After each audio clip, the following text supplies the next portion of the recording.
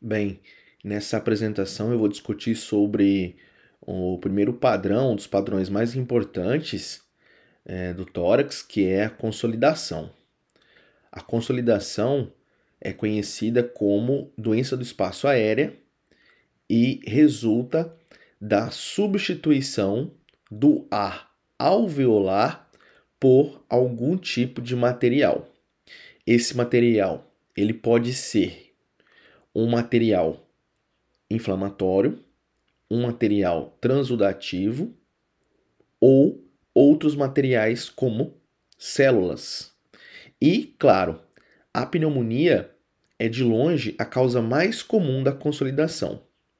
Todavia, nós não podemos considerar todo tipo de consolidação uma doença infecciosa pulmonar. As principais causas da consolidação relacionadas ao seu conteúdo são, no caso do líquido transudativo, a insuficiência cardíaca, insuficiência renal e a baixa albumina.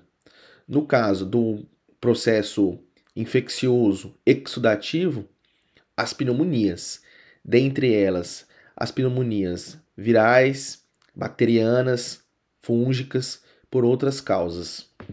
Sangue no trauma, nas contusões, e aí nós podemos ter associada à consolidação lesões é, parenquimatosas, pneumotórax, fraturas de arcos costais, por isso que é importante viabilizar o contexto.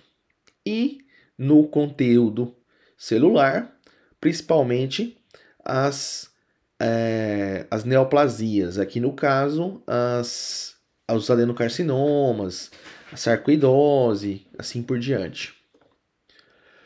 Bom, é, quando a gente fala de avaliação radiográfica, a gente precisa conhecer e reconhecer os principais sinais. Então aqui eu separei é, os principais sinais em cinco grupos ou categorias.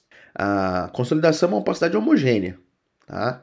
E ela causa o apagamento dos vasos pulmonares. Então nós temos os vasos pulmonares que são é, hiperatenuantes ou radiodensos, né? Formam a estrutura broncovascular e a pneumonia ou a consolidação ela é a equiparação dessa densidade. Então ela acaba obliterando os vasos pulmonares. O volume ele pode ser perdido, mas é uma pequena proporção apenas. Na grande maioria das vezes, é, nenhum volume é perdido. Tá? O que pode acontecer é ceder a fissura ou a cisura, dependendo da topografia da consolidação. Ela também é relacionada a contornos mal definidos, contornos imprecisos, é, já que nós temos é, vários estágios da consolidação, então, dependendo do estágio, ela tende a apresentar broncogramas aéreos. Entretanto, em contato com a pleura, nós temos é, um, um volume mais definido. Uma outra característica das consolidações é a presença do sinal da perda da silhueta, ou seja, quando eu tenho um aumento da densidade dessa consolidação que se aproxima da densidade da estrutura adjacente, eu tenho o borramento ou apagamento dessa estrutura. Isso acontece no diafragma, quando do lobo inferior, ou acontece da borda cardíaca direita ou esquerda, quando do lobo médio ou do lobo superior esquerdo. Bom, o broncograma aéreo é, não é patognomônico das consolidações é, parapneumônicas ou pneumônicas. A gente consegue identificar broncogramas aéreos em outras é, etiologias, entretanto, é um marcador importante, já que nós temos um brônquio pérvio é, preenchido por ar entre meio a uma consolidação.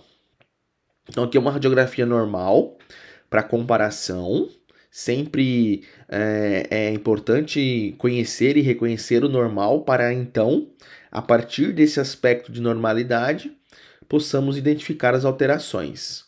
Aqui eu tenho uma representação de uma radiografia normal e mostrando no perfil é, a distribuição dos lobos. Então aqui eu tenho no pulmão direito é, a topografia dos lobos superior, médio e inferior e no pulmão esquerdo as topografias do lobo superior e inferior.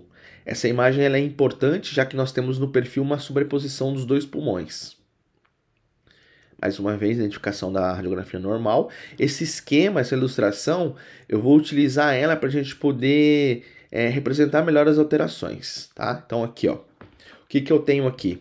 Eu tenho uma opacidade homogênea, certo? Em contato com a fissura, ela está bem definida. Do lado oposto, ela está mal definida a, não ocorre perda de volume, ou seja, não ocorre aqui uh, o deslocamento das estruturas, seja a traqueia, seja do hilo pulmonar. Ocorre, pelo contrário, um abaulamento da cisura menor, ela acaba cedendo. Eu tenho uma presença de broncogramas aéreos, tá? E o sinal da silhueta aqui é dado com a linha paravertebral direita. E o sinal da silhueta aqui, ele é representado como a perda da linha paratraqueal direita. Eu não consigo identificar a linha paratraqueal direita, que aqui na radiografia normal seria essa linha aqui. A linha paratraqueal direita mais densa. Então ela está obliterada devido ao aumento da densidade. No perfil do mesmo paciente, a gente consegue caracterizar a lesão como uma lesão do lobo superior direito. Inclusive, se a gente fosse traçar a, as cisuras aqui, eu teria, ó, T4 tá aqui, ó. Tá aqui. Então aqui eu teria o lobo superior, médio e inferior. Olha como essa zura ela foi abaulada. Então ela cedeu, tá? Ela veio parar aqui. Olha lá. A representação da cisura. Bom, o que seria o sinal da silhueta, então? O sinal da silhueta, ele nos remete à perda da definição das estruturas que estão se tocando, próximas uma da outra. Aqui no caso, representando uma consolidação, um aumento da atenuação que está borrando ou indefinindo a borda cardíaca direita. A borda cardíaca direita, ela está em contato com uma estrutura do pulmão direito que é o lobo médio. Então, se eu tenho a consolidação do lobo médio, que está em contato com a borda cardíaca direita, eu tenho essa perda da definição. Olha lá. Então, lobo médio está em contato com a área cardíaca, uma consolidação do lobo médio se sobrepõe à silhueta. Daí vem o termo sinal da silhueta. Quando eu tenho uma lesão, uma consolidação que se encontra borrando a borda diafragmática direita, significa que essa lesão ela se encontra na topografia do lobo inferior direito. Por quê? Porque grande parte do diafragma está em contato com o lobo inferior direito. Então, eu tenho uma perda da definição, ou seja, o borramento da borda diafragmática. Isso vale muito a pena quando eu não tenho condições de solicitar e realizar a incidência em perfil, já que com as duas incidências, eu consigo caracterizar lado e lobo. Na incidência frontal, lado direito ou esquerdo. Na incidência em perfil, lobo. Lobo superior, médio e inferior do lado direito. E do lado esquerdo, apenas o lobo superior e o lobo inferior. Bom, em relação ao pulmão esquerdo, o que eu tenho aqui? Eu tenho uma lesão que está borrando a borda cardíaca esquerda. Essa lesão, ela se encontra na topografia do lobo superior esquerdo. Por quê? Porque eu tenho aqui um segmento chamado segmento lingular, que está em contato com a borda cardíaca esquerda. E as lesões que borram o diafragma e poupam a borda cardíaca esquerda são lesões do lobo inferior esquerdo, tá? Eles acabam borrando o diafragma e poupam a borda cardíaca esquerda. Na incidência lateral do tórax, é imprescindível que tenhamos que reconhecer as principais estruturas ou áreas. Então eu tenho duas áreas chamadas de triângulos ou espaços retroesternal e retrocardíaco, que são radiolucentes ou radiotransparentes, e três áreas radiopacas ou radiodensas, que são a área cardíaca, o hilo pulmonar e a coluna vertebral dorsal. Na radiografia em perfil, elas são reconhecidas como espaço retroesternal, espaço retrocardíaco, que são radiolucentes ou radiotransparentes. Já as áreas densas são a área cardíaca, o hilo pulmonar e a coluna dorsal torácica, que aqui nós temos a representação do gradiente. O que é o gradiente? O gradiente é a interface de densidades radiodensa e radiotransparente. Então, radiodensa ou radiopaca na sua porção superior e radiotransparente ou radiolucente na sua porção inferior. O que é o sinal da coluna ou sinal do gradiente? O sinal do gradiente é quando eu tenho o borramento desse gradiente radiopaco para radiotransparente. Então, olha lá, um exemplo eu tenho um infiltrado ou uma consolidação na topografia do lobo inferior direito ou esquerdo que borra o gradiente inferior. Então esse gradiente ele começa branco, ele fica transparente e volta a se tornar radiopaco. Olha lá. Tá? Essas lesões são lesões do lobo inferior. Mais um sinal do gradiente mais sutil, ó perfil. No perfil. Branco, preto, branco. Radiopaco, radiotransparente, radiopaco.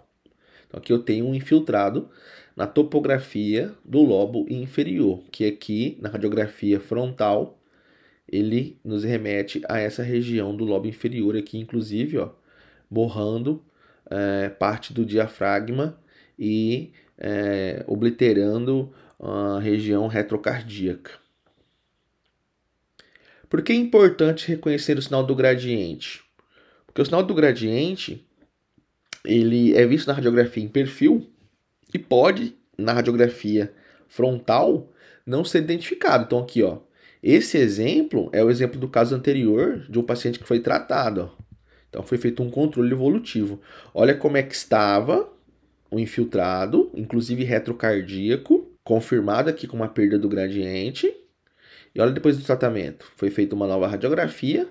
Então foi resolvido esse infiltrado e a radiografia em frontal mostra uma área totalmente preservada nesse momento. Então, é, alguns sinais eles podem ser sutis. Então aqui eu tenho um sinal bem característico do que seria uma consolidação do lobo superior direito, mas aqui já nem tanto. É outro paciente, ó, mostrando novamente uma consolidação do lobo superior direito, inclusive associada a uma obliteração do recesso costofrênico lateral direito.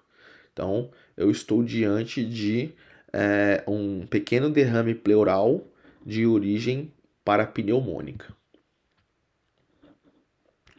E na tomografia? A tomografia, então, desse paciente, ele nos evidenciou uma opacidade, um aumento da atenuação, apagando, obliterando os vasos, ó, aqui estão os vasos, então os vasos estão obliterados, tá?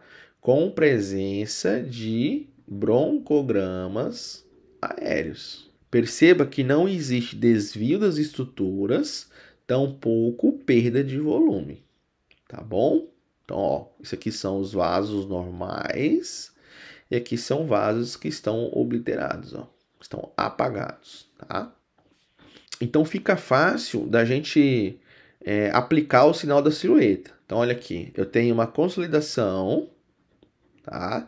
Bem definida, certo? Que está borrando a borda cardíaca direita. Então, olha lá. Estou diante de uma lesão no lobo médio. Inclusive, essa lesão, ela tem uma característica particular aqui, que é o que? Ó, ela aponta para o centro. Então, ela aponta para o centro, ela acaba puxando algumas estruturas. Então, eu estou diante de uma atelectasia, ó. Está puxando aqui, elevando é, o lobo médio e com isso parte do lobo inferior. O hilo pulmonar também está sendo retraído, tá? Em sentido da lesão. Então, estou diante de uma consolidação com componente atelectásico. Perda de volume. Olha aqui. Consolidação borrando o quê? Borrando a borda diafragmática direita. Então, se borrou a borda diafragmática direita, eu estou diante de uma alteração do lobo inferior direito. Ó como poupou aqui, ó, a borda cardíaca direita. Então, poupou. Poupou a borda cardíaca direita e borrou a borda diafragmática direita. Esse caso é para vocês entenderem que não apenas as consolidações, mas qualquer lesão do espaço aéreo eu consigo é, caracterizar com o sinal da silhueta. Então, olha, eu tenho aqui vários aspectos consolidativos, inclusive de aspecto intersticial, algodonoso, associado a um desvio das estruturas mediastinais, olha aqui a traqueia desviada, aumento de capacidade pulmonar com bronquiectasias. Então existe uma tração aqui. Estou diante de uma lesão intersticial. Essa lesão, ela borra o diafragma direito. Então, olha aqui. Ela está no lobo inferior direito, tá? São bronquiectasias. Aqui, uma opacidade, né, uma redução na transparência que borra a borda cardíaca esquerda. Então, eu não consigo determinar a borda cardíaca esquerda. Essa lesão, essa consolidação, ela é do lobo superior esquerdo. e aqui o oposto.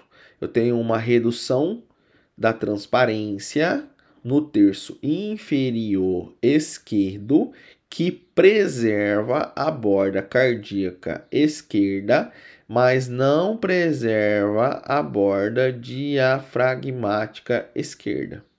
Então, estou diante de uma consolidação no lobo inferior esquerdo. Outro caso, esse aqui é um caso que eu mostrei no início, é, como exemplo de uma radiografia em perfil da perda do gradiente, ó. Então aqui confirmando essa alteração é do lobo inferior. Eu não sei se é direito ou esquerdo apenas olhando o perfil. Entretanto, quando eu avalio a incidência frontal, borda diafragmática preservada, borda diafragmática borrada. Então aqui eu estou diante de uma consolidação do lobo inferior esquerdo. Mais uma alteração, lobo inferior esquerdo. Por quê? Preserva a borda cardíaca esquerda. Sinal do broncograma aéreo, visto em uma radiografia de um paciente de um pulmão em SARA, né? Então eu consigo é, determinar várias consolidações bilaterais, uma redução difusa da transparência sem perda de volume. Então o volume está preservado, está mantido. Então os broncogramas aéreos aqui carregando ar, entremeando as consolidações. Na tomografia computadorizada é assim que eu identifico os broncogramas, ó. Então, brônquios com ar, pérvios com ar, entremeando as consolidações. Isso me ajuda a diferenciar consolidação de derrame. Então, aqui, ó, parece que eu tenho derrame. Porque esse broncograma aéreo, ele não vem até a periferia, ó. Tá? Então, aqui também, ó. Então, estou diante de um componente de derrame pleural.